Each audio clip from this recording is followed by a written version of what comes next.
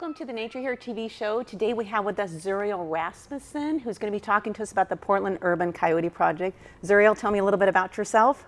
Um, well, I grew up in Eastern Oregon, rural Eastern Oregon, until I was 12, um, and then I moved to the Bay Area. And I've always been really interested in canids. When I was little, I loved dogs. I learned all the dog breeds and um, saw coyotes in Eastern Oregon. And after I graduated from uh, undergrad with a degree in psychology, I came up here and I saw a coyote crossing my path um, on my way home from work. And I was and that was like, it. You were like, was, "Hey, ding! I, there's the coyote." Well, yeah, I was really amazed because I was used to seeing coyotes in a rural context, and this was right in Southwest Portland. Um, and so I was really, really interested in how a coyote could live in such an urban environment. And so I got really interested in urban coyotes. That would, that and would that, totally make sense. Yeah. nice. And so personally you believe in this project because you just saw it or just is there something that struck it outside of that or you know how did you like dig a little bit deeper into it? I think what happened is that i i saw that coyote and this kind of spurred a lot of independent research on my part. I started learning about how coyotes live in cities and how there is some conflict where people you know there are a lot of different opinions about coyotes. And um, so I really wanted to understand how to better provide information for people and help prevent conflict. Um, yeah. Good. So if, like if we're to, I know there's a lot to the subject, so I don't want to like take too much time on it, but if there's one thing that really attracted you more than it, was it just the fact that it was in like a neighborhood that really got you and you're like, that's really interesting, or was it more because of, of the animal side of it, or what, or maybe both? I don't, I mean, I don't. I think that I was just really amazed that such a relatively large animal can live in a city and go unnoticed most of the time. There's some because people... it looks domesticated? Because I look at a coyote and think, oh, it almost yeah. it looks like, I know it's not a dog, but I mean, it looks totally. like one. So I think part of it is that people might not notice a coyote when they're driving down the road or walking. Right. They might think, yeah, it's just a, they kind of look like a German Shepherd, although they're a lot smaller. Um, and also, coyotes are just naturally fearful, so they so they're skittish anyway. To, yeah, they tend to stay out okay. of sight. They even in rural areas, they have a reputation for being an animal that is really hard to track, really hard to find. They really stay out of sight. Okay. So tell me, so about the project yeah. that you're doing. So let's we'll just dive right into it. Tell me you know, I don't know anything about it, so I'm just, I'm like everybody else, I'm just kind of learning totally, as we go. Yeah. Um, so the Portland Urban Coyote Project started at Portland State uh, in 2010 by a graduate student named Jenny Grant and her advisor, Barbara Brower. Um, and it really started as a response to coyote sightings in Portland. Um, in the Alameda neighborhood, there was a coyote that people were seeing during the day and really had a lot of questions about it. Were they scared of it, um, do you think? It depends. There's okay. really this large spectrum okay. of how people feel about coyotes, which is fascinating um, and something that we're looking at in our project. But people, some people are very fearful of coyotes. Some people are love coyotes and um, even try to attract them by feeding them, oh. which is definitely not, not something that you want to do. do. Not yeah, don't don't feed the coyotes. um, and some people don't really know coyotes live in the city or are pretty neutral, and don't really care. Um, but the project started by in this neighborhood, um, and Jenny Grant wanted to track where coyotes were, and so asked people to start reporting their sightings mm-hmm. online. Um, and from there, it's sort of grown into something that a lot more people know about. Um, we've added an interactive map so people can see where coyotes have been spotted. So people can physically go on to yeah. website and see this. Okay. Yeah, exactly. Okay. Okay. So people go onto the website and they report sightings. Um, so if you've seen a coyote in Portland, you can go to the website, um, which is portlandcoyote.com, and report um, where you saw the coyote and what it was doing. Uh, and then we put it onto our interactive sightings map so that people can check out how many people, yeah, have seen the coyotes. And and what we learned from that is not only where coyotes are in the city and more about their ecology, but also how people are interacting with coyotes, um, what kind of experiences they're having. We haven't. There's not. There's not been any attacks or anything like that. Are they pretty? Because you said they're they're afraid of you, so I would. Yeah. I would assume they wouldn't approach. Because I think of, well, children. If you're in a neighborhood, Alameda, that's a nice neighborhood, yeah. and I would think smaller children would be at risk. But if they're afraid or timid and they only come out at night, then that's probably not It tends to not be an issue. So typically, coyotes are not dangerous. They're very wary of humans and they mostly stay out of the way. They've actually changed their whole um, cycle. So they're out at night in cities because people aren't there. Um, but occasionally, a coyote can become habituated, get used to being around people. And that's really when you start to see um, potential conflict. Issues, right. Yeah, where then the coyote isn't as scared and can start to act a little more aggressively. Um, and so that's a really big piece of our project where we want to help uh, limit the possibility of habituation by providing education because the best way to keep a coyote from being habituated or for to help reinstill its natural fear of humans is to haze it is what we call it mm-hmm. um, where that means anything like yelling making really loud noise um, Which typically filling. scared off it doesn't like it so it's thinking humans are yeah. loud obnoxious people right I, am not I don't Stay want away from yeah humans. if we yeah it's the opposite of feeding a coyote right Okay, we want right. to train them retrain them to be um, you know, their natural wary selves. Okay, so they've got their little Yeah. kind of world, and we've got ours, and let's not mix the two. Yeah. Gotcha. Are coyotes basically just in the Portland area? I mean, you mentioned a specific neighborhood, um, or do they go outside of that? Or I, mean, I would, I would think of the coyote. I would think like Boring or something. Great, yeah. you know, yeah. something where there's a large, vast area Yeah. of land. I wouldn't think homes. I just, I don't, why, I don't understand why they would be there. I mean, Totally. So coyotes originated in the southwest United States. They're a sort of prairie desert animal originally, um, and they're one of the most successful carnivores in that they've expanded their range almost two times, or about two times. Oh, wow. So they've gone from the southwest to all across North America, up to Alaska, and all the way down to Central America. So this is a, a very stick to adaptive one- animal. Yeah, they can kind Yeah. of go anywhere. They don't stick to one specific. Yeah, area. they're they're pretty amazing. So they're they're very very opportunistic. They can learn, you know, they change their patterns of when they hunt. They can learn to eat different kinds of food, um, and so we've really seen them in metropolitan areas or you know suburban and urban areas in the last 30 years a lot more. Um, and Do you know why they're coming? it's not totally clear. I think p- a big part of it is just their opportunistic nature. So, Okay, they there's more are opportunity where there's homes and people Yeah, and food and garbage cans. I- it tends to be a pretty good assuming. place for them to live. Um, a lot of people think that a large part of their diet is anthropogenic food, food from human sources like garbage or uh, domesticated animals. But actually, most of the diet studies um, show that portray that? that's yeah, it's not, not that what they much. like. Okay. Um, like about one to two percent of a coyote's diet could be domestic cat. That's what studies have kind of found, or even less than that. Um, and no more than thirty-five percent, sort of like garbage, domesticated fruit, that kind of thing.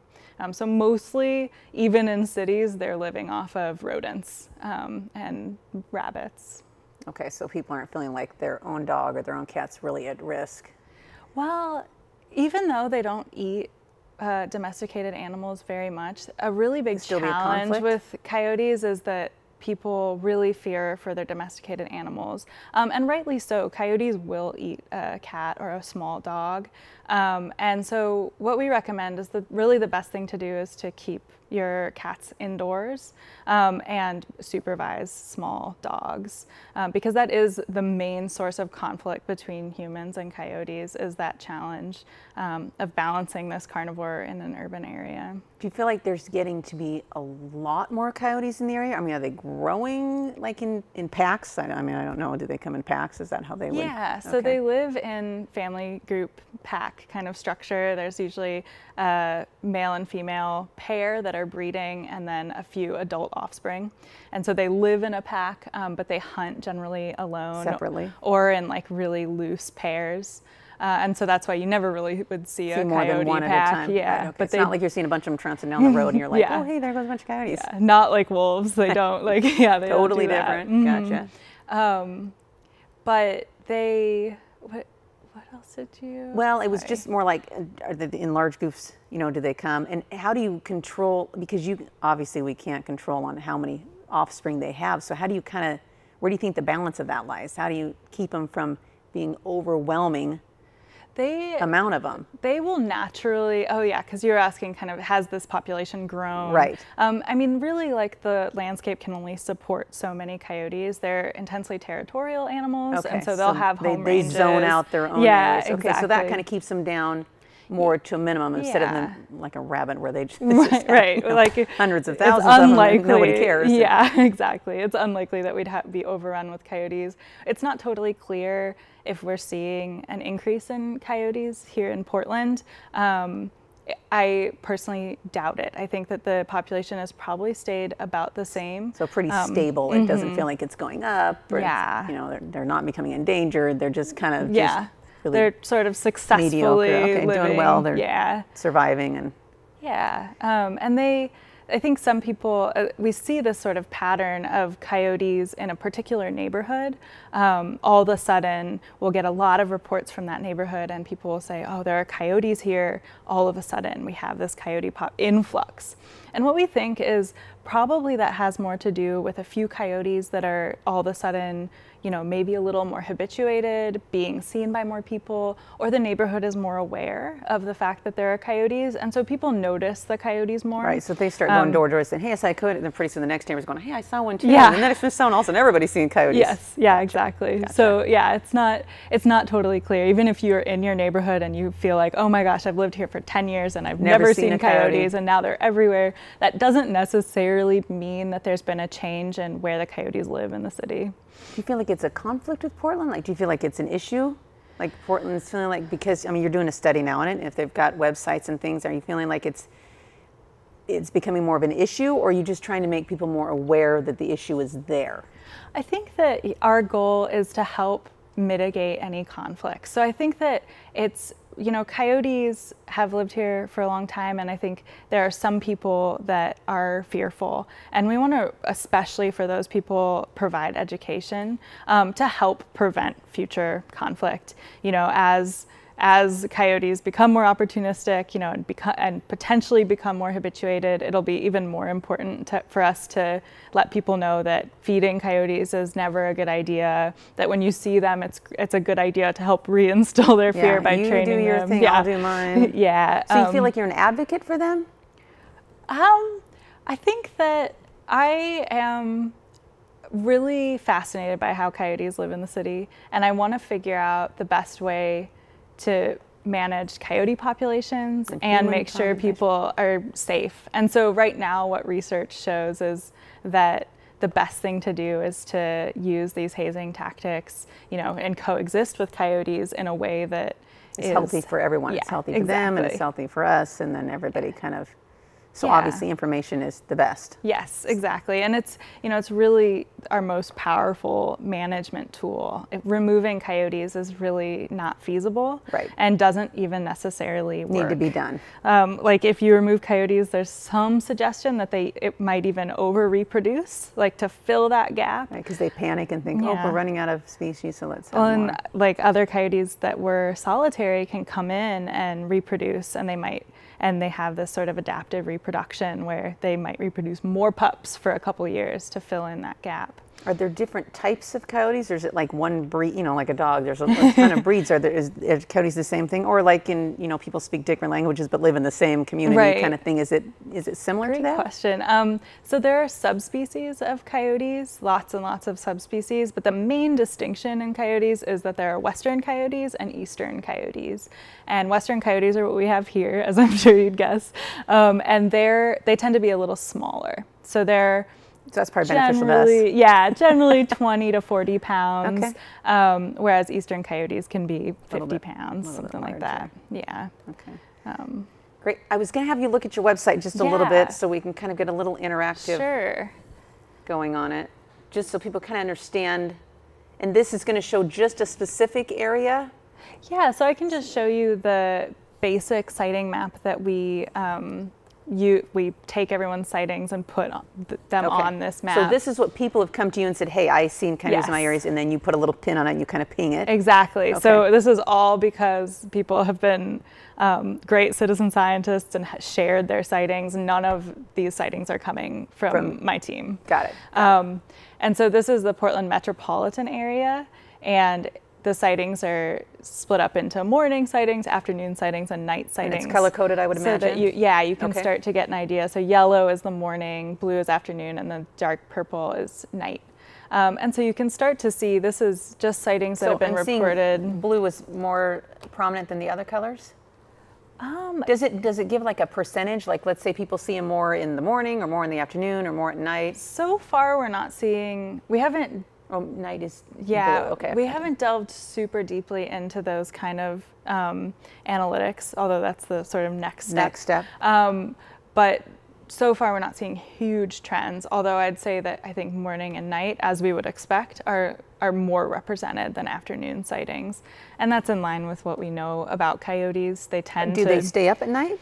Yeah, they try to so avoid they sleep people during the day. Okay. Yeah, because Yeah. Mm-hmm. I mean I don't know. I mean are they nocturnal and they just in urban areas. It's really Okay. interesting, but not in the wild? They're not. In rural areas, they're more crepuscular, so usually dawn and dusk, but also they will be out during the day, so they can be diurnal. If they need to. Um, but in rural, er, sorry, in urban areas, we really see them change that behavior, and that's part so of what they makes adapt. them They're adapting to us. So as much as we're adapting to them, they're also doing the same thing. Oh yeah, and really amazingly, they really they you know they take up. In a lot of studies, they've found that urban coyotes, you know, live in the little natural areas in cities, um, golf courses, cemeteries. They they find the places that we aren't, and they also are awake when we aren't, um, and that's how they've sort of slipped into cities and made a living here. Okay, and when you go, not to go back to the website again, but just so does the website also talk about the species itself and kind of give them things of the do's and the don'ts? Yeah. And you know, besides just the sightings, obviously the sightings are important because that gives them an idea. They can say, "Hey, I've seen it in my neighborhood. Who else has?" Kind Yeah. of thing. Um, so we also have a tutorial that we've been working on. So this is just the front page of the tutorial. Um, and it's sort of a click through tutorial that gives basic life history of coyotes. So, you know, when are they having pups? How big are they? That kind of thing. Um, it also talks about coyotes specifically in Portland. So shares some photos that citizen scientists have shared with us um, and the map.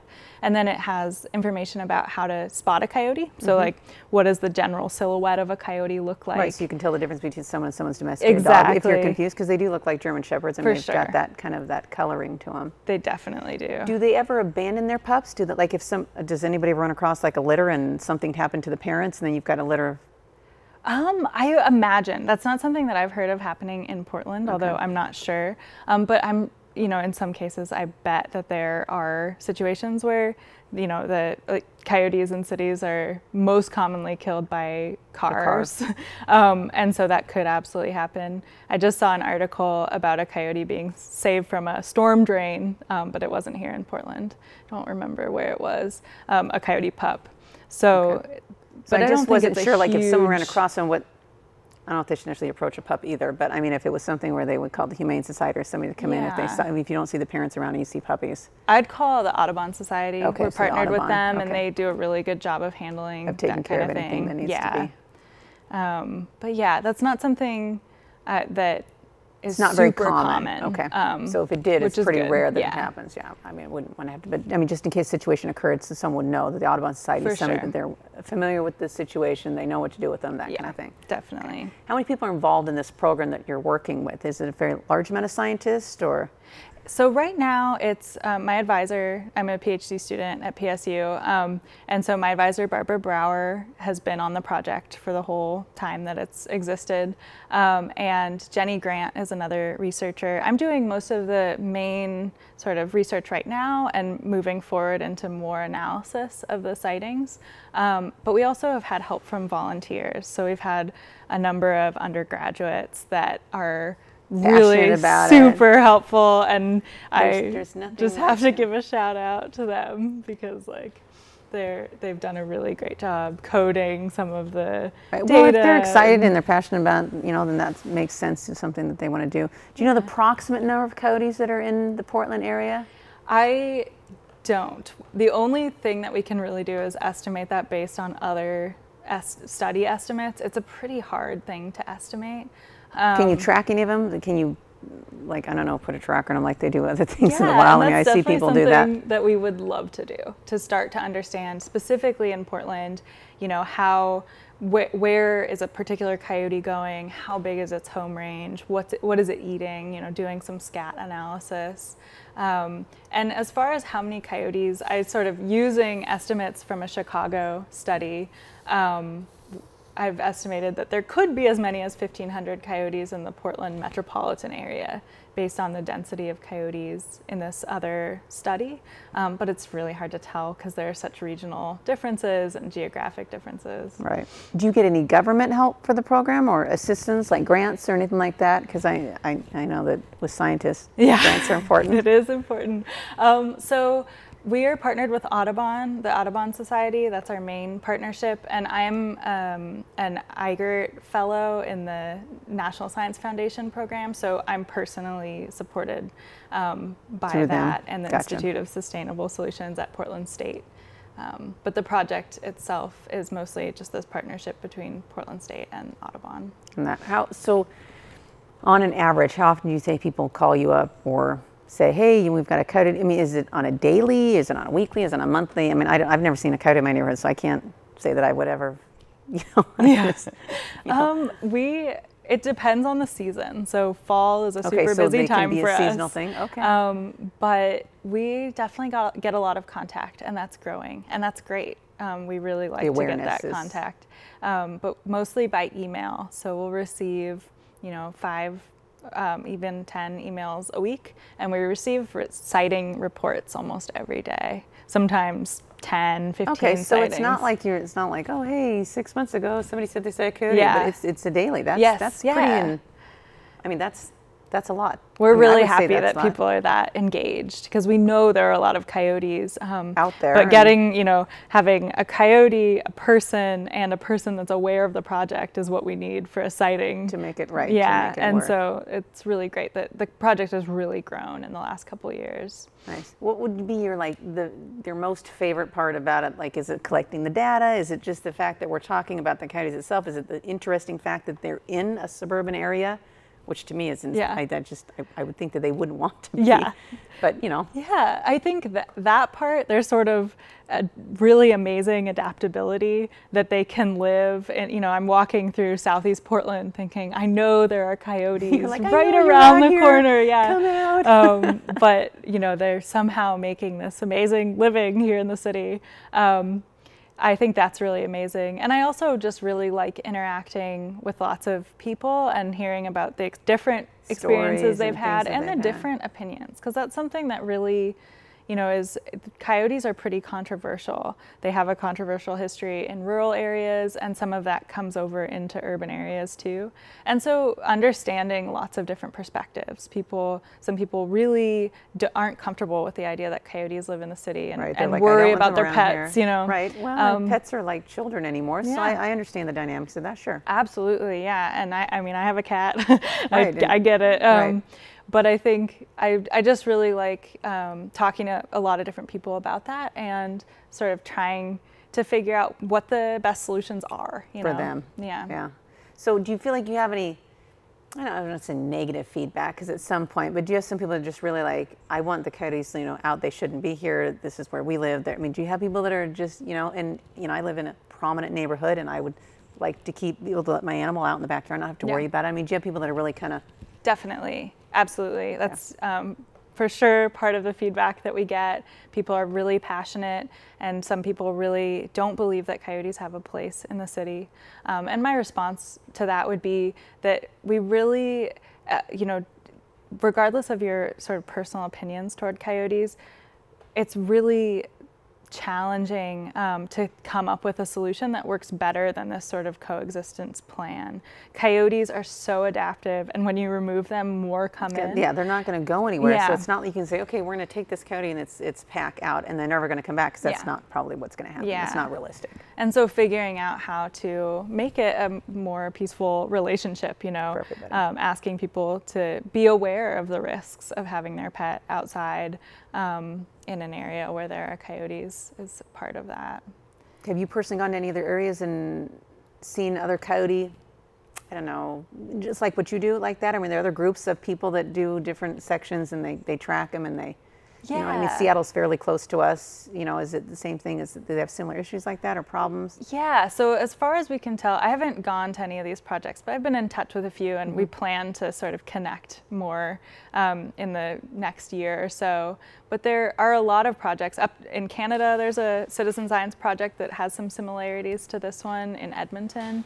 Um, in Denver, Colorado, there's one, and in Madison, Wisconsin as Okay, so those are pretty spread out. So Yeah. the, the demographics for that is, I mean, that's out there. That's pretty wide. Definitely, and it's definitely something that um, it's pretty universal across North America. The kinds of conflicts, the kinds of challenges of managing coyotes in these really disparate landscapes, people are still running into the same kinds of issues. You know, a, a habituated coyote that just needs to be like retrained, or or you know, people being concerned about their cats, or people being really excited about coyotes in like, their hey, yard. in the. We just want feeding yeah, them. wanna play with Yeah. them. They're so cute. And, and- right. I mean, I would imagine because the spectrum is so big that to be able to, you know, deal with people that are really not happy about it, the people that are really excited about it, and kind of get it like a happy medium where everybody just kind of Yeah. coexist is a great word because that's really, you know, what everybody needs to do.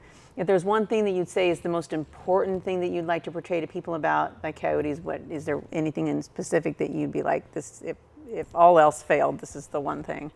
I think that just to keep in mind that typically coyotes are not dangerous, but it's important to, you know, haze them, reinstill fear in them, and, and to not engage in behaviors like feeding them.